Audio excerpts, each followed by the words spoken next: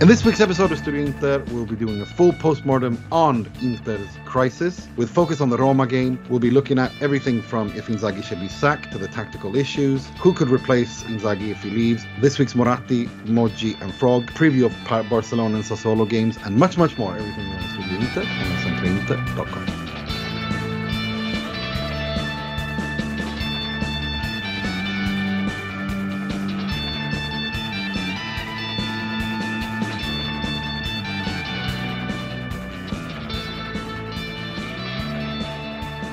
Benvenuti, bentornati to another edition of Studio Inter.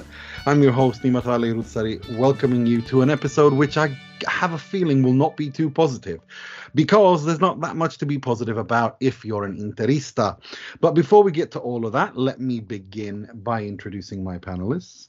Uh, we're joined by our very good friend, the, the artist, he told me before we started recording that he's got nothing to be positive about. So I guess we should refer refer to him as the artist formerly known as Mr. Positivity, Mohamed Nassar. Hey everyone, and uh, yeah, apologies about the scheduling issue with the preview this week. Uh, we'll be back on starting uh, next weekend, but uh, yeah, it's a very very grim uh, grim times. So uh, looking forward to get uh, some therapy done uh, on the podcast, and uh, yeah, let's go. And we're also joined by our man in Milan, our good friend, Mr. Fulvio Santucci. How you doing, Fulvio? Hi guys, good to be here. New season uh, feels like okay, so feels feels a bit like uh, the pre 2019 or something like that. So hmm. after all this pandemic, always say it's just let's get back to normal, to normal, let's get back to normal. Where we're back to normal, to our normal. It's inter banter. it's no, just joking, but still, but still, yes, tough, tough times, tough, tough times, guys. Mm. And we have a debutant joining us for the very first time. He has a podcast called Brothers of the World Podcast. That will be, will be linking to that. Make sure to check him out. Making a studio inter debut. Welcome, Mr. Michael McDuffie. Wow, yeah. Um, hi everyone. Hi Nima, Mo, Fulvio. Nice to meet you all. Um, Nima, uh, we talk pretty often, but yeah. Um, what better circumstances for a debut than the worst circumstances possible? So, really looking forward to getting into it with everyone. for sure, for sure look, let's get right into it because I, I mean I want to start. Uh, we'll, we'll go into the Roma game as well because uh, I mean I, I I know a lot of people were angry about what Simone Inzaghi said. I personally think he was right. I think it was Inter's best game of the season. I think it was the game where you saw Inzaghi football. But the fact that it was Inter's best se- best game of the season means also that Inter have sucked incredibly so far this season, which in and of itself is a problem. But um, before we get to the Roma game, um, I think we have to talk about this the Simone Inzaghi out in situation because Gazzetta dello Sport last night.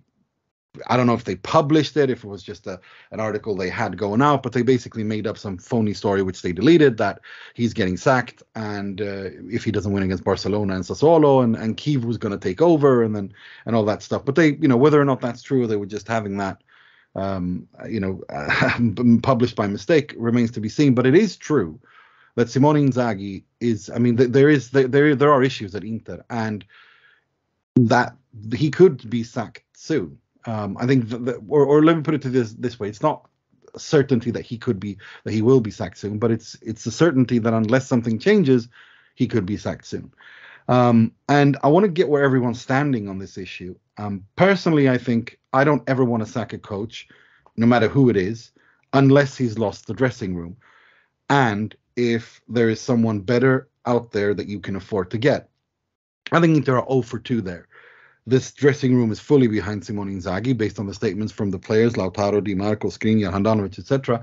And Inter can't afford to have Inzaghi on the payroll whilst also bringing in someone else. Even if Thomas Tuchel has won more trophies, uh, bigger trophies, I don't, A, I don't think he's interested, and B, Inter, Inter can afford him. So th- that's where I stand with that. So I'm willing to give to continue until at least the World Cup, uh, until the World Cup break. Um, where, where are you on this, uh, Mo? Where, where, are you? Inzaghi in, Inzaghi out? Yeah, no, I'm. Uh, I think uh, us old, uh, older folk are a bit more tempered in our uh, in our approach to uh, managerial changes. I think ultimately, like you said, it's uh, it's not even whether whether whether we can afford a substitute. It's whether there's a substitute available. Either way, this is a very odd season with the World Cup coming in the middle of the, the season. So, like you said, at least until the World Cup. And honestly, there's there's no no better replacement I find on the market. I'm, I'm not a, personally I'm not a fan of uh, Tuchel. I don't think he would be an improvement on uh, on Inzaghi in the sense that where I think Inzaghi lacks, which isn't tactics or whatever, it's it's is is winning record is is is, uh, his killer instinct, which I've repeated many times in this podcast. I don't think Tuchel is that guy either. I think Tuchel is prob- problematic. He's uh, caused issues at uh, Dortmund. He's caused issues at uh, PSG. This isn't the sort of manager that we need right now. If we're going to get an unstable manager, then better be someone with a, a real record of winning league trophies and cups, not just uh, a fluke uh, Champions League. Uh, you know, so so yeah, I'm I'm I'm definitely as as disheartened as I am and as and as of little faith as I have with Inzaghi. I don't think the decision to sack Inzaghi at the moment would in any context be the right one. Fulvio, where are you on this? Are you are you with me and Mo on this, or do you think that no, we, need to get rid of uh, we need to get rid of Simone? Well, uh, to be honest, I don't have um, a definite position here. Um, I mean, uh, I, I, mean, I agree with you uh, because um, it's it's something that uh, it's actually balanced. It's a balanced concept. What you what you think, uh, even because you need to be realistic. of course, everyone is angry here.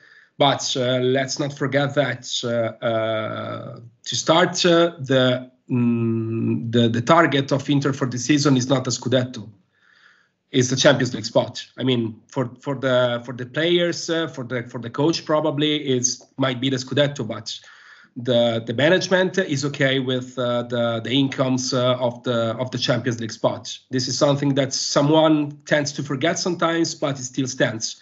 And I mm. think uh, that, uh, and I think that Inter can actually achieve the fourth place despite this uh, this false start. And uh, on the second uh, on the sec- on the second perspective, I believe that uh, when you have a so tight schedule that you need to play basically each two days, I don't think that you might actually benefit from a change. I mean, um, how do you prepare the games? How the the new coach, who the coach, but this is something that actually is uh, it's something that to to discuss afterwards about the about who, but uh, how this new coach can actually do something different uh, from the from the um, from, from Inzaghi if uh, he hasn't actually have uh, the material time to coach the team because you don't have this time. You got to play other seven games in 30 days and uh, I'm talking about Champions League, I'm talking about away days, uh, and I'm talking about uh, a really, really packed schedule. Uh, everyone tends to not do something like that because it's not beneficial. And uh, as you as you was stating before, and I agree with that, uh, it's better to it's better to wait for the for the World Cup break. You have two months of break. You can manage to do everything, even because the majority of your players are not with you. So you can actually do the things uh, when uh, the players are not uh, are not affected by this directly. Um, so let's let's wait and see. But uh, on this uh, point of the season, uh, I believe that mm, changing the coach is like rolling the dice. It's like a Moratti move, but we are not in the Moratti I was I was just going to say that. You you know how much I love Massimo Moratti, but I've never been more grateful for him not owning Inter than right now because when things weren't going well, he was the worst owner ever. I mean, I still haven't got over him sacking Gigi Simoni. like yeah, yeah, yeah, exactly, exactly. I mean, uh, I mean, uh, everyone, everyone is uh, is witnessing that things are going south here. Nobody's uh, nobody's denying that. But uh, I mean, uh, changing the coach right now, it's like rolling dice. I mean, the problems of Inter are not only at coaching level and hmm. uh, we have, we already have been in this place. We have plenty of years in which uh, we kept uh, uh doing the same mistake, changing the coach, believing that uh, magically everything is solved. But it's not like that. We don't need to we don't need to cut uh, to cut the, the, coach to to solve the problems. Here we have the whole tree to be cut. You know what I mean? So it's uh, it's something that you cannot solve uh, uh, by just by swapping the coaches. Uh, you can mm. probably put uh, some, uh, you know, you can put a, a band-aid here, but not solving the problem definitely. Putting a Snoopy band-aid on a gunshot wound. Yeah, um, Mike, Michael, where, Mike, where are you on this, Mikey? I mean, um, are you, are we, are we four, are we, are we all, all four of us against Inzaghi out, uh, or, or are you Inzaghi out? And if so, who would you replace with? Yeah, no, um, I think the Inzaghi out movement that has, you know, sprouted out of social media has been very reactionary, and I get it to a, to an extent because uh, we did get used to some steady winning. But to go back to the coaching carousel that I mean we've seen from Inter in multiple eras, I would say. Um, I just don't think it would be very tenable for anybody at the club for that to start happening because we already have a squad where there's uncertainty. There's always, you know, always somebody saying that somebody's about to be sold.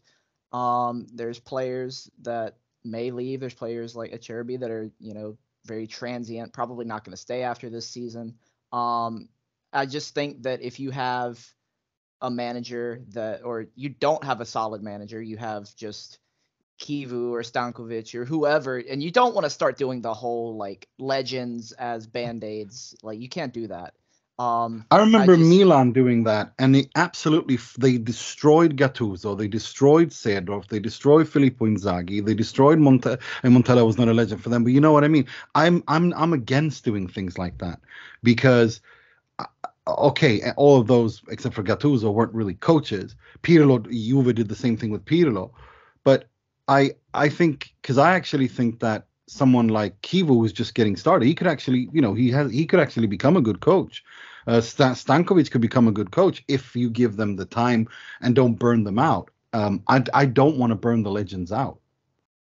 Yeah, no, that is that. I think that would just make everything feel worse at Inter. If you can't even look at your legends with rose-colored glasses, like you have nothing. so, um, you really have to keep Inzaghi here for me. Um, I think he'll figure it out. I think this was a baby step in the right direction mm. this match, even if it was a loss. And I mean, I'm not one to say that a loss is ever a good thing, no. but we saw we saw something. I think everyone needed that time apart for the international break. I think it allowed everyone to slow, you know, their role. Um, all, all the crises slow down a little bit. Everyone mm. just gets back to playing football.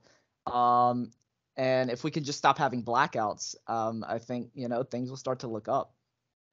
Well, we're going to get to the Roma game as well, but I want to talk about the, the pressing issues. And and one pressing issue is I think we have to talk about now um, is was it a mistake to bring back Romelu Lukaku over Paulo Dybala? I'm starting to lean, or actually, I think it was a mistake, and that doesn't mean that I and, and by saying that, I don't. I'm not saying that I don't. I think Lukaku is going to be a flop or Lukaku is is you know because he's injured, he's never going to succeed at Inter again. No, that's not what I'm saying. I think that the mistake it, it was a mistake to not bring to not bring Dybala because given how Inzaghi played last season, given the the manner in which Inzaghi created, overloaded the spaces in in in in, in midfield, creating triangles, numerical advantages, and sawing himself through, less vertical movements than Conte for sure, but still vertical movements, and the kind of ball one touch ball pass passing midfield dominance, possession dominance that Inter played. I think and also with Lautaro Martinez becoming the bomber that he really did towards the end. And and and I think someone like Dybala and him, they would have they would have been they would have played they, they would have had they would have enjoyed themselves together.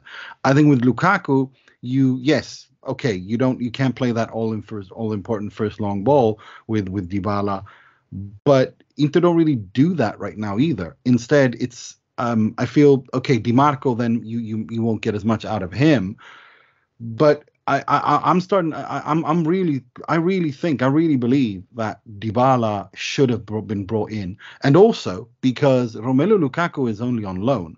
Graham Potter can turn around in June and say, "I want Romelu Lukaku back." There's not a goddamn thing Inter can do about that. Dzeko's contract expires in June. Thank God, you know, let's be honest, he's 36, 37 years old. He should not be offered a contract extension. If they do that, then I don't know what to tell you. Uh, then then we're officially in the banter era. It's it's it's Batistuta Rocky level because Dzeko is finished. Um, so you're just stuck with two strikers, Lautaro and Correa, and Correa has been any every any has been very overwhelming. So my my my issue is was it a, I, I really think it was a mistake. They should have gone after Dybala. He's only 28 years old. He's been great at Roma. He's becoming the main man at Roma. And I think next to the midfield that, that Inter have and and and Lautaro, I think it would have been a success. Um, I'm keen to hear. I'll start with you, Mikey. My, my, Mikey, what, what do you think? Do you agree with that? Do you disagree with that? Um, I think it's almost hard to make an assessment because we haven't seen Lukaku play really at all. So to call it a mistake tactically, I I, I don't think I, myself personally, I don't think I could do that yet. But you could call it a mistake in that you haven't got this guy fit yet. You haven't had him on the pitch. You haven't been able to play whatever kind of football you want to play with him.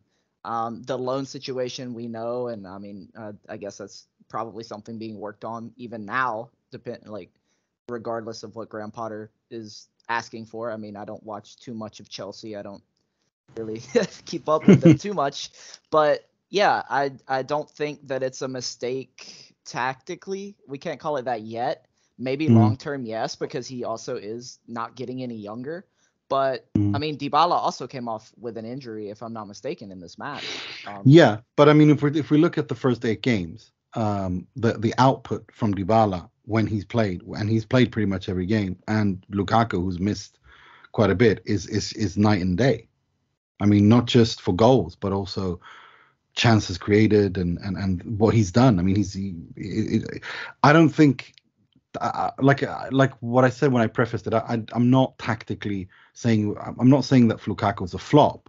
I'm saying that I think tactically would have suited Simone Inzaghi's football better to to have Dybala, if that makes sense.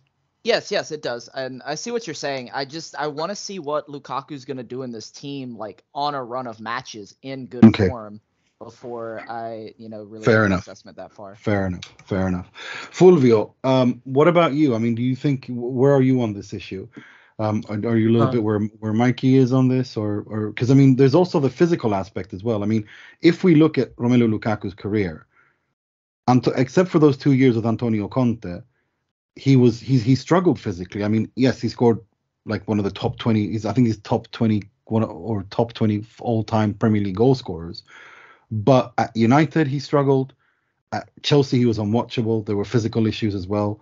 It's just those two years with with Conte and and um, Pintus that he was world class. I mean, what, what, what do you think? Uh, I'm pretty much on the on Michael's side here, to be honest um, we we don't we, we didn't see we didn't see enough about about this to to judge. What I can tell you for sure is that nobody, and I mean nobody, when it was announced for the second time, hinted at uh, something about injuries. Nobody, actually. Uh, while uh, Dybala was actually injury prone, but I don't think that's the, the right key to do that. I think that's, uh, and I would choose again Lukaku um, because uh, when you have when you got Lukaku, you got uh, something that uh, is uh, uh on the paper at least uh, is uh, a luxury for this kind of league. And this is the same league in which Dybala struggled. And I mean, you, mm. you, got a lot of issues, of course, but he always played in Serie A and basically never made the difference for a whole season, except for the for the whole Palermo times while Lukaku actually was some kind of guarantee, even because the group would have uh, greeted Lukaku differently. Um, I would say that uh, if the choice was between these two, and I actually actually proposed this kind of uh, question back in the beginning of July on my Twitter, and everybody, practically not everybody, but at least 80% uh, went with Lukaku. I believe that if the choice was between these two, I would have chosen Lukaku again. But of course, of course, the deal at the at the beginning of this uh, of this story, uh, beginning of second announcement uh, at, the, at the end of June, the deal was to bring on both players, and that would be completely different. A completely exactly. different story. Exactly, yeah. I'm with you 100% there.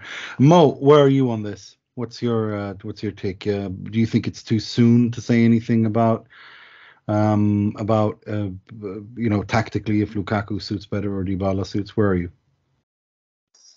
Listen, I think uh, Dybala is uh, is a. Pro- uh, we've said this before, man. I, I, think he's a problematic, difficult player to incorporate in any side.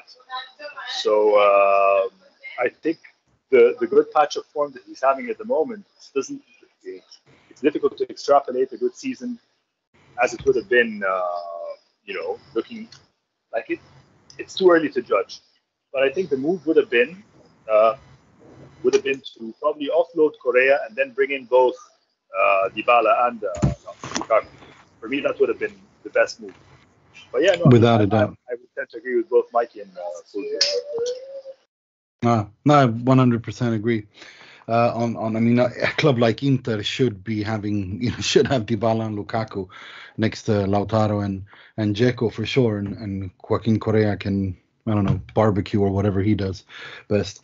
Um, no, it's it's it's it's it's it's one of those pressing topics that everyone's talking about. So I wanted to talk about that. Um, let's go more now towards the the uh, the Roma game, and I want to begin with you, uh, Mo. Listen, um, it's I think Inter actually it wasn't a fantastic game by Inter by any stretch of the imagination, but the opening goal and and and I do think that Rui Patricio. I mean, this was a game of goalkeeping howlers. Uh, very poor goalkeeping, all, all you know, by both both teams' goalkeepers. But I, but the movement and, and passing which led to the opening goal is Inzaghi ball, and that was very encouraging. And what what I also find really encouraging is how in the second half when Inter struggled, they worked themselves into the team, and or say they worked themselves into the game, and they took over, and and they should have they they they should have created more and they should have scored, um, but they didn't. And and of course Simone Inzaghi, I think I tweeted it out. Now's the time to make a change, and he keeps waiting too long every single game. It's not even about what minute he does it in. It's about where the, when the game is in the balance, he's not proactive, regardless of if it's the 51st, 65th, 75th, or 45th.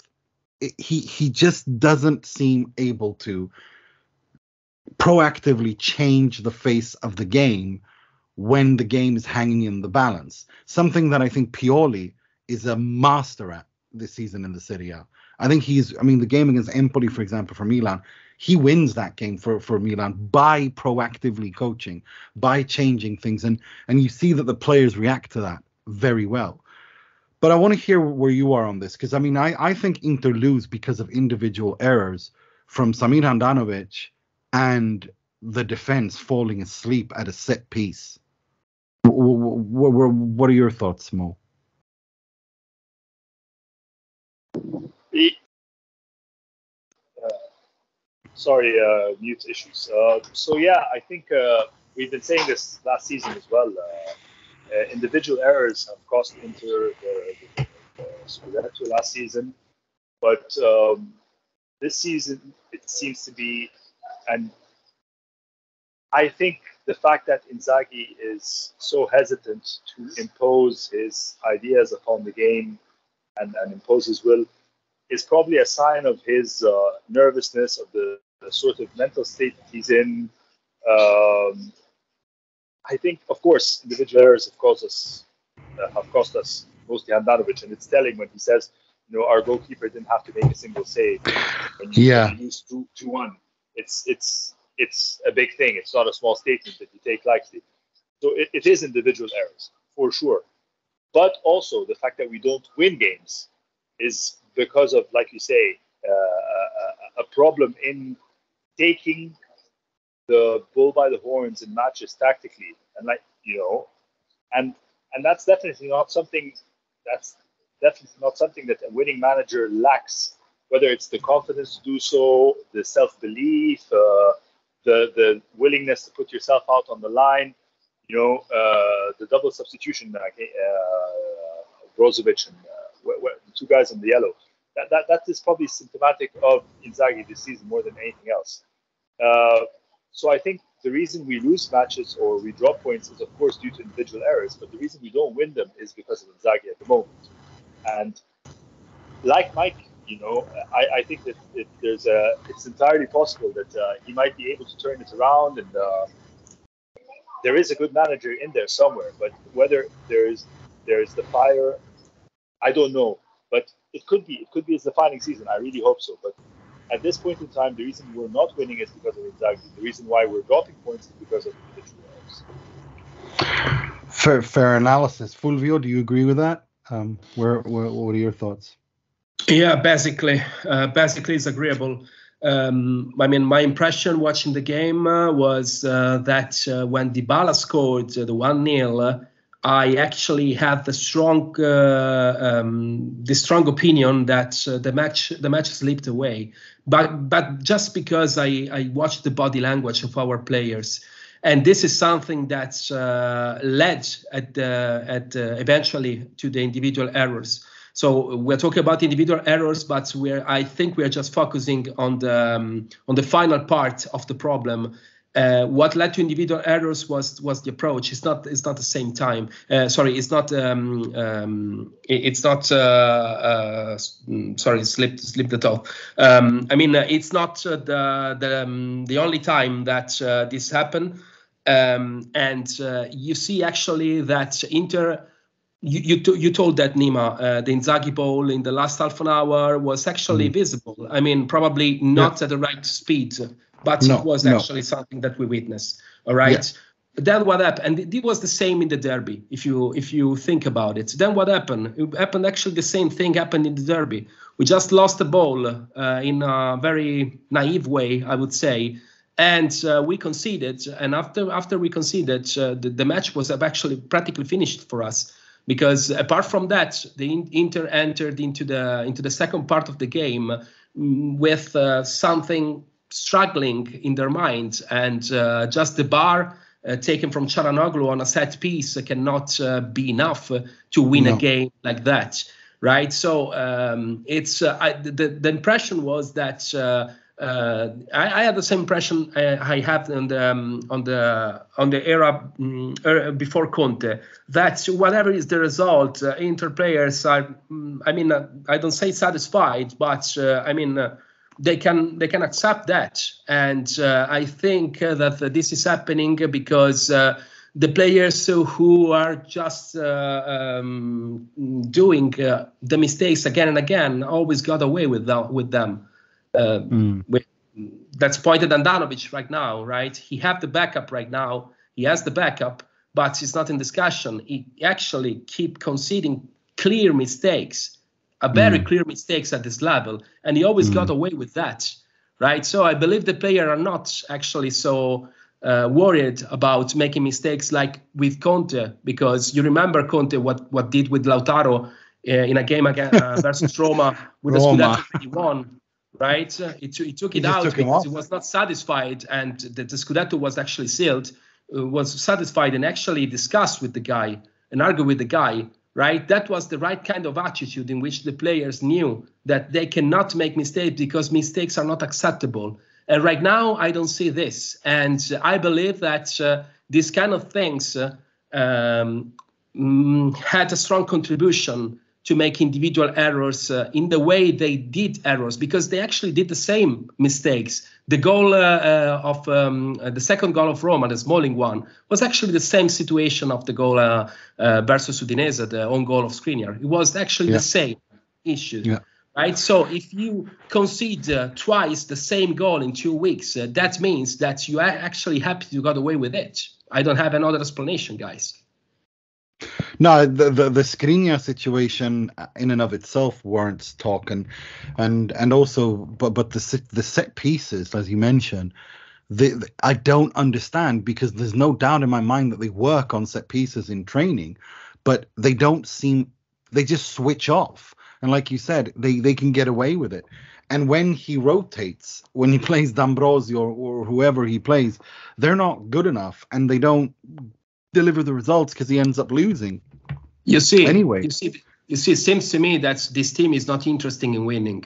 I mean, mm. uh, it's it's not something that I can tell for sure, but this is no. what uh, their body language actually communicates me. But if you see if you see Milan, for instance, uh, Milan conceded one 0 at Empoli at in, at injury time by a mistakes from the goalkeeper, and yeah. they did do anything. But but going going forward, going ahead, and go win the game in injury time again. So this is the attitude, the attitude of a team who wants to win, right? While you had you had uh, one half and uh, also other minutes uh, to to go ahead with the winning, and you could because actually Roma was not attacking you, and you end up like that with only one one chance created by a set piece, and that kind of goal conceded. For me, the picture is clear at, at this point. I think it's atteggiamento, the word in Italian. I agree. Uh, the the, yeah, the, the, the attitude is wrong. Yeah, the attitude is completely wrong because I don't think it's a tactical and technical issue. I think it's a mental issue. So I'm with you on that. What about you, Mike? Mikey, what, what do you think about the where are you on the Roma game in terms of uh, yeah overall impressions of what which we've discussed? Yeah, I mean, it kind of felt like Groundhog Day in a sense. Like a lot of these matches this season have been Inter goes up early but doesn't impress, and then you're just waiting around for the shoe to drop. And I mean, once like Fulvio said, once the Dybala goal came, you could see you could see the players just kind of, oh, here we go again. Um, like hope it's not too bad this time. Um, that being said, though, I thought there was a bit of a response. Uh, you mentioned it earlier that Inter worked their way back into the match, and I mean, we we, we of course saw the Calhanoglu chance. Um, Asllani had a chance that almost went in, uh, but close only counts in horseshoes and hand grenades, so it doesn't really matter at the end of the day. But I, uh, it, it's tough because you see like glimpses of this team trying to break through, but then they do fall back into that resignation that seems to be all too prevalent in this in this squad. I don't know if it's something that starts from the captaincy and you know rots from the head down or if it's even higher than that it's uh, somebody needs to find a spark for this team and they need to find it quickly that's a absolutely mikey. They sure do. That's that's really that, that leads me really really nicely into the next segment which is luckily Inter only have the have to play Barcelona. You know, uh, uh, Barcelona, who in the who in the La Liga, who are top of uh, La Liga right now, and um, uh, who are top of, of, of La Liga right now, um, and and and and if I'm not mistaken, I'm, I'm just looking it up. Just yeah, they've only conceded one goal in the Serie A. Uh, sorry, in the La Liga, one goal, top of the city, top of the La Liga, 19 points, 19 goals scored, one goal conceded, and they've got a certain Polish gentleman up top who's scoring for fun. Uh, nine goals he scored in La Liga. I mean, Robert Lewandowski. I I'm more worried about this than I am going into to Bayern now because they the, the signings they made. I mean, if leaving aside the ridiculous financial situation they're in, and somehow they're allowed they're in worse debt than Inter are, and yet they're allowed to spend more than than Inter ever have uh, in the Suning era. Is let's leave all that aside, but the fact that they the, the fact that the players they've bought in and the way that they control possession and can retain possession with Gavi, Pedri, and all these guys. It's, I mean, I I'm genuinely scared for that game. Um, what, what, what do you think? I mean, what are your thoughts, Fulvio? Are you are you also scared, or uh, are, are you are you more are you confident that this could be the the turning point? I mean, what are you thinking? Well, Nima, you know that I'm uh, I used on this show to give uh, a different perspective uh, than the usual, and uh, that's what I'm, I want to do um, because uh, I think that uh, um, it might be actually a good chance for the for the Inter players to play this game. Uh, because for, for for a lot of reasons because it's the Champions League of course uh, and uh, because we got now into the situation in which, of course, uh, the the idea uh, at the beginning was to to go to the um, to the knockout knockout round, but at the moment, uh, for the things that you said, uh, uh, seems that it's the, the pressure of the game is in the hand of Barcelona because Barcelona is performing, so everybody is expected to win the game, everybody is expected to control the game tactically and uh, in terms of possession. Uh, um, so you know it's something that uh, could actually just uh, just be on the on the good side with Inter. I mean, it's in the history of Inter to do the best performances when everybody did not expect something like that. So who knows? It, it, it might be probably something something like that. Might be a night like that. Um, but yes, of course. I, of course, I'm worried about that because Barcelona have, have, have a lot of uh, good players. Uh, they actually run a lot more than us, or probably more Oh, better yes. than us. Oh, yes. um, and so we don't have actually players. We got we, we still in, in the in the squad uh, we uh, keep uh, losing players able to play this kind of games, and now we got. Uh, uh, a key player like Brozovic uh, that is not part of the game. Lukaku is not part of the game. Um, so we are losing we are losing pieces very important to play this kind of games and to give the all the group the strength to play this kind of game. So of course it's worrying. But uh, once again, I think that's uh, um, if uh, I know this team, uh, this team, uh, if if I'm not mistaken, is in in, in a situation uh, previously of the Scudetto. So if this is the same drill, if this is the drill once again, this team might do might give the best when they have nothing to lose, and this is something on the situation in which. They could have nothing to lose because, uh, of course, everybody expect to win. The pressure is there, but probably more are expected to win against Sassuolo and not Barcelona. So if you win against Barcelona, I don't think you can uh, turn around, uh, ups- turn upside down the situation. But uh, of course, you can uh, have uh, a bit of that spark of um, who, which Michael was hinting That Let's is the see. most. I mean, uh, it's, it's, a, it's a positive. in- It's a positive assessment. It's probably optimistic assessment, I would say.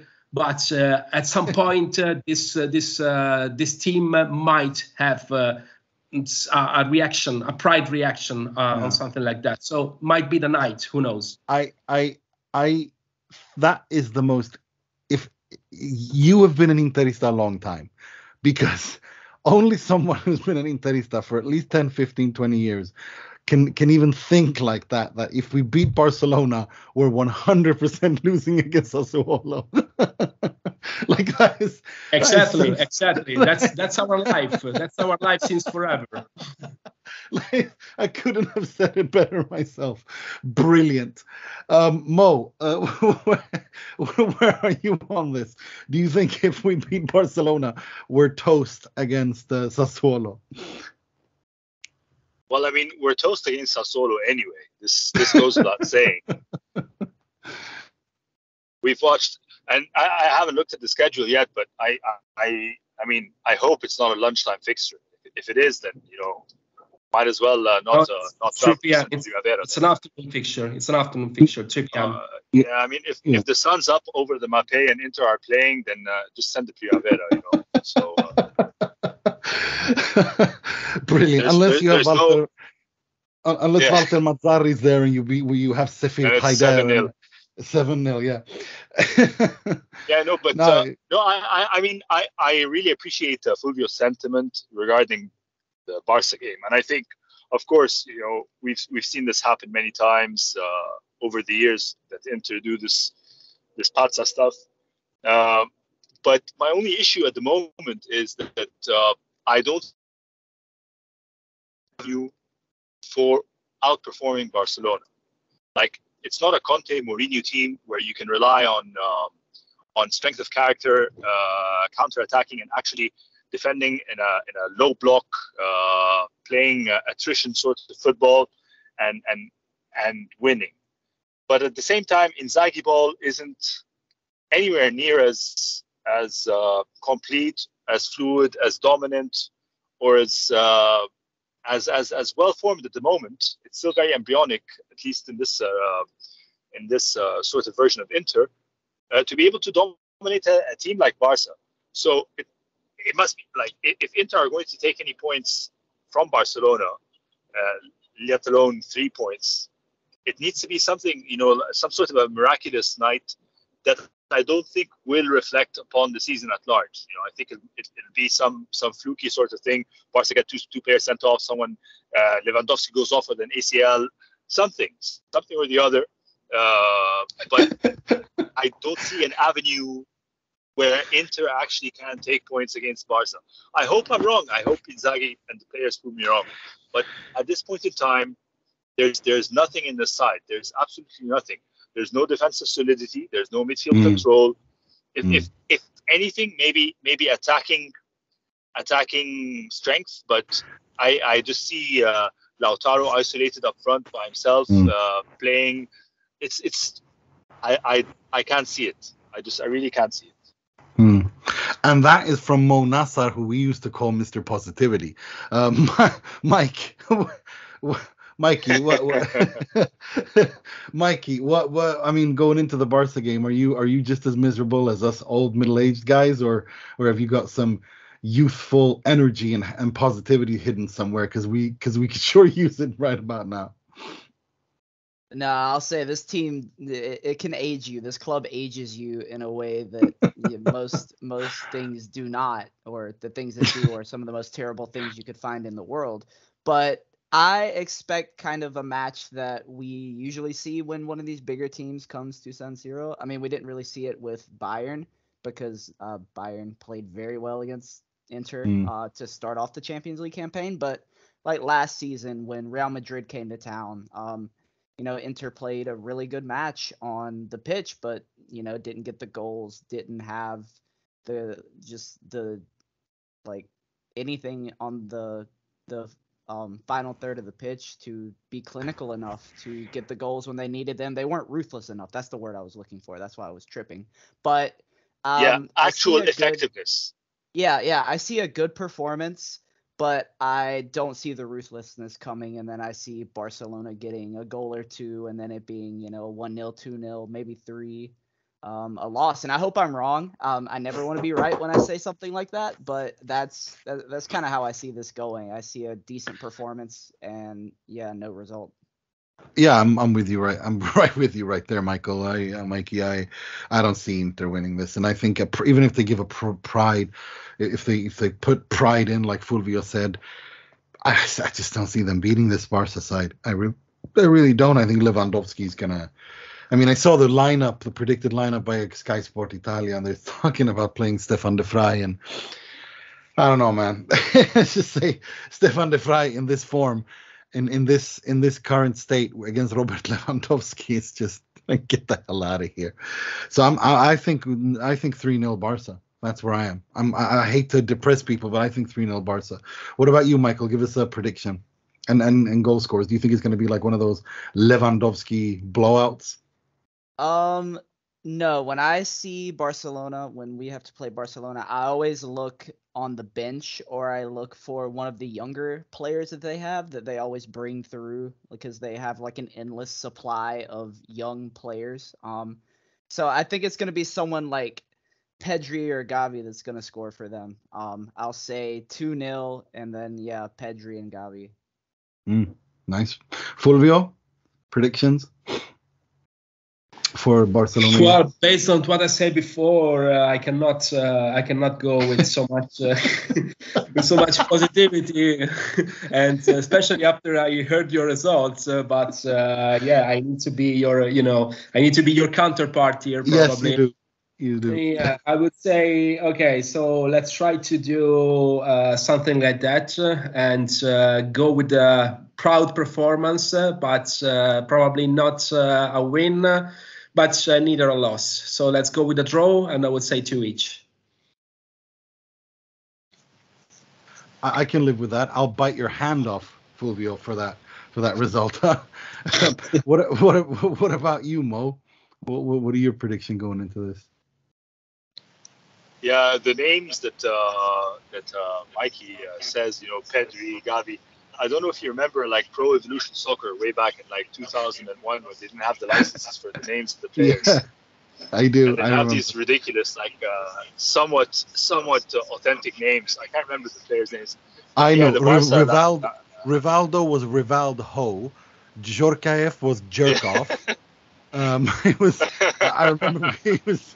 It was brilliant. Yeah. Well, sorry. Yeah. Yeah, so La Masia seems to print, print out, uh, like, uh, pump out these players in uh, Pro Evolution, uh, PES, uh, circa 2000 names. But anyway, side note, I think it's, uh, I liked, uh, I liked Mikey's sort of comparison to the, the game against Real Madrid last year.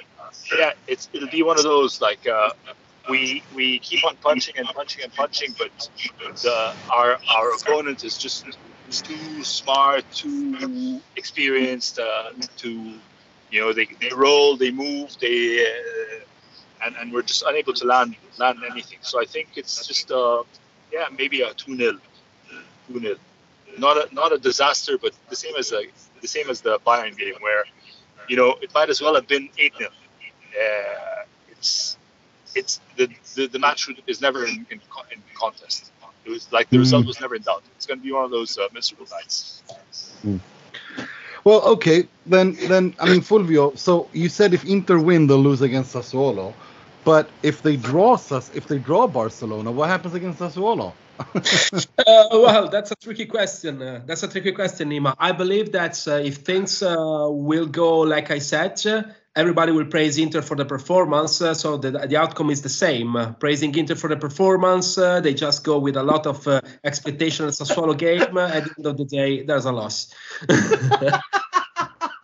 love it, absolutely love it. and, and, you know, and you know, and you know, Pinamonti, who couldn't score. I don't want to swear, but couldn't score in a beep. he will score against Inter. He'll score three against Inter. Like it's just, it's just, it's written in the clouds, isn't it? Because I watched their game against Salernitana. The guy is like, they they dominated, and he was invisible. He scored from the penalty spot but you know he's going to score against Inter, right? Yeah. But funny thing, funny thing, he claimed uh, he had uh, issues uh, during the game, like intestinal issues during the game, and especially oh. when, yeah, especially when he go when he go for the penalty. He said that uh, he actually had the the blurry glance uh, to because it was uh, actually in a in, in, a in a in a bad shape. So can you believe that? Yeah.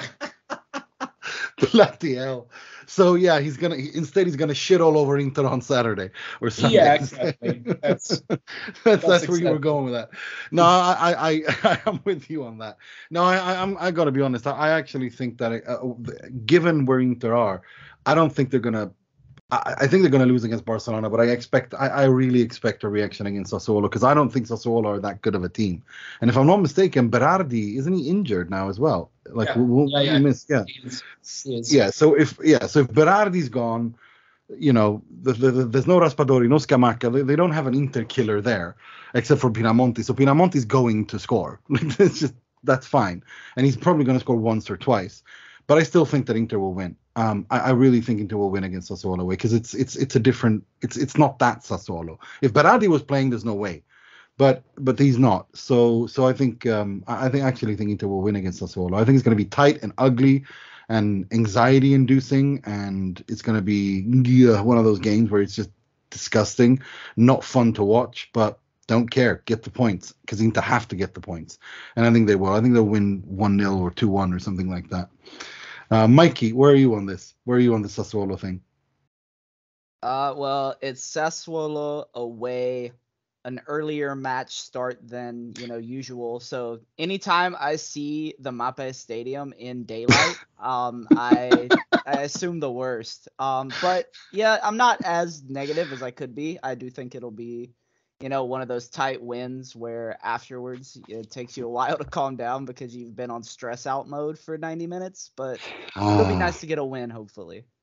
Mm. Yeah. Any predictions for that? Uh, let's say let's say two one because I don't think there's there's a way that Pinamonti doesn't score, but let's say Lautaro gets gets a brace back on the score sheet. You know, everything starts to look a little nicer. Mm, agreed. Right, Mo. What about you? Prediction? Draw. Shitty mm. draws. Yeah, yeah. Fair enough. Um, I'd take two shitty draws from both of these games. Um, right, let's uh, move on to the part of the show where we pay tribute, with the piss out of and criticize someone or something heavily in the world of football, starting with the positivity. This week's Moratti, which we presented by the artist formerly known as Mr. Positivity, Mr. Mohamed Nassar. He's, he works a lot, he's intelligent, and he surprised uh, people sometimes with his uh, ideas. Not easy to find one person of these uh, qualities. yeah, clutching at straws here, man. Clutching at straws. No, uh, honestly, I would say uh, Asllani starting in an important decisive game is my uh, Moratti of the week. Uh, the kid seems to have uh, a lot of uh, potential it's a shame that it has to come at the expense of Brozovic's in- injury, but I mean, this is what squad depth is all about. Um, and even if Inzaghi was forced to play him rather than you know uh, slowly, uh, willingly uh, letting him join in with the squad, I think it's a good sign. I think ultimately the fact that, like we all agreed, you know, it wasn't a fantastic performance by Inter, but it was a good performance. We have to give everyone their due, but it, it was a decent performance, uh, marked by individual errors. So, all in all, uh, Asllani's presence from the from the first from uh, from the from the starting whistle is important, and it's a good sign. And I hope I hope you know all this negativity aside, uh, it, it, it is a, it is something to build on coming uh, coming into the next stretch. Mm, hope you're right. Um, and uh, personally, um, something we haven't discussed, but I, I remember Simone Inzaghi playing three five one one at Lazio, and I think now's the time to do that um, in order to gain some balance. And he also did it at Inter in the beginning as well when he had Stefano Sensi in that trequartista role in, in the opening game against Genoa, his first game, uh, Simone's first game in charge. Right, uh, let's move on to something uh, much more negative. This week's Moggi, which we presented by Mr. Michael McDuff.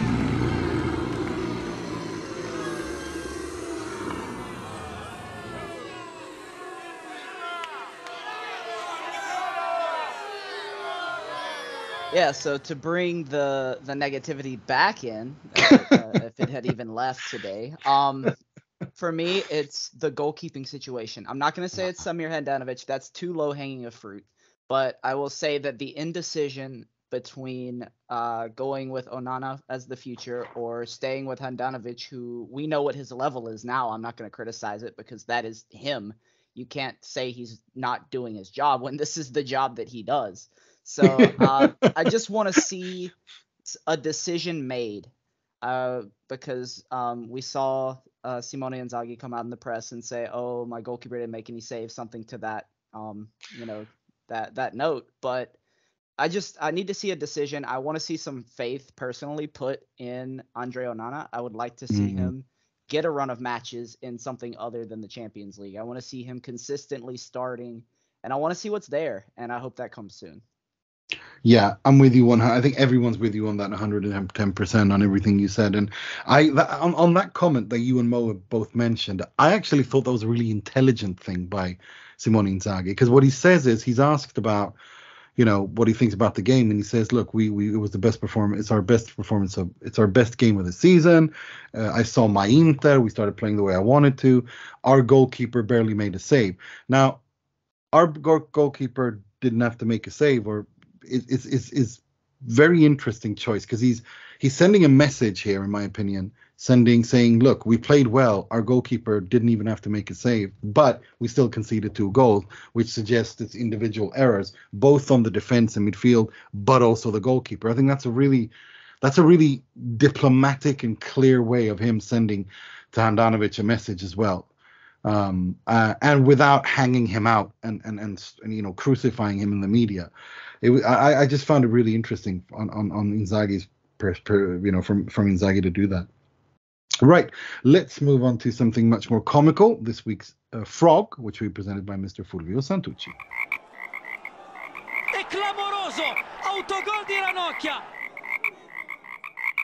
Yeah, so as you know, uh, I mean, if you heard the show earlier, you know that uh, the frog uh, is a not explored path in the show for me. It's actually the first time I did that. I do that. So I decide to go where the awkward things happen every weekend. My beloved Bundesliga, Germany. Yes, it's always it's always like that. So the match now is uh, Werder Bremen versus Borussia Mönchengladbach. So Bundesliga match, of course. And uh, we are in the 37 minutes in the first half, and the result is 3 0 for uh, Werder Bremen. So basically, a compromised match for Borussia Mönchengladbach. Um, so the situation on the pitch you need to imagine is the same uh, of the last uh, uh, of the last action um, in the last Super Cup. You remember everybody the, the, goal of Sanchez, and you remember how the action went. So the cross from the left, the defender alone, that actually do something that uh, he shouldn't do. Okay, the same situation, right? Cross from the left uh, and this defender alone. So this defender, you may have uh, you may have heard a couple of things about him. It's Ramy Bensebaini. It's a target oh, for dear. Oh dear. yeah. So it's it's actually alone, and that's this uh, this cross from the left, which is actually not dangerous at all. I mean, he's alone. He's not surrounded by Werder Bremen players. He can do anything. He can just control the ball. He can sweep the ball. He can just uh, let slip away the ball because uh, he will would be out or on the side. Instead, what he what he what he's gonna do right now is actually is actually think to go to sweep with the back heel, right? So you're joking. You go, yeah, no, no, I'm not joking. I'm not joking. You can you can see it. It's uh, it's uh, it's it's every it's everywhere now. So he went with the back heel and actually scored a memorable own goal, which makes four nil for Werder Bremen in the first half. Yeah, I'm not joking, guys. I'm not joking. It's really, it's really, it's really comical. And uh, uh you know, the ma- the match is uh, is going to finish uh, five one for Werder Bremen. So nothing, nothing unexpected at that point. But uh, I just when I when I saw something like this, I just thought, okay, this is a target for Inter. Well, it might fit well in an insane team if it's, it's managed to do this kind of defensive interventions. that is that's extraordinary. Well done, Fulvio. Brilliant, brilliant. Yeah, of course Inter are linked with him. of course we are. The guy Ranocchia's the situation. Well done. Right, um, that's all we had time for this week. I'd like to thank you, Mo, for coming on. Uh, great uh, as always. You're on mute, Mo. And in true fashion, uh, Mo fashion, I have uh, mute issues uh, while saying goodbye. Thank you so much for having me. It was a great episode. I feel much, much better. So now I kind of feel like uh, what uh, what all the other guests uh, felt like when when I worked their issues out with positivity. So thank you very much, in particular, Fulvio, for, for, for helping me see some silver linings. Mr. Fulvio Santucci, always a pleasure. Thanks for coming on. Great to be back, Nima. Looking forward to the next recording. Thank you, everyone. And Mr. Michael McDuffie, uh, make sure to check out his podcast, Brothers of the World podcast. And Mike, Michael, let me know where, where, where can people find you and, and the podcast. Uh, yeah, well, I mean, you can find my personal Twitter at mxhel underscore. It is completely um you cannot pronounce it, so I, I always have to spell it out, which is kind of goofy. And also um at botw pod on Twitter and Instagram, which isn't used. But yeah, I mean, if anyone is looking for another inter podcast, because there's plenty of space in the inter podcasting world, especially in English. Um, it's a little less structured. It's a little more of a audio plus visual property. Um, it's it's it's a fun time if you just want to if you want your de- hard in-depth analysis, your journalistic credibility, come here um, to Studio Inter. If you just want to see some guys talk about Inter and say whatever, um, yeah, check out Brothers of the World podcast. Well, it was a pleasure having you. Make sure everybody for check, checks out Brothers of the World pod. I'll be linking to that in the article and everywhere else. Uh, everyone, until next time, I'm your host Nima Ali Roodsari, wishing you a good week. Stay safe, take care of each other. Six points, and sempre e solo forza.